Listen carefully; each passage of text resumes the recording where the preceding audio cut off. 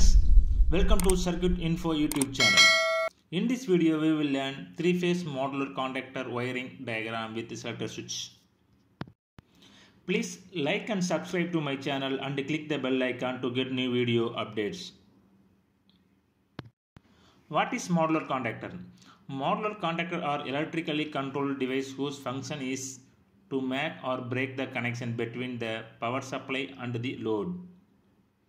They are primarily used to automated process in building and facilities and they work as switching device.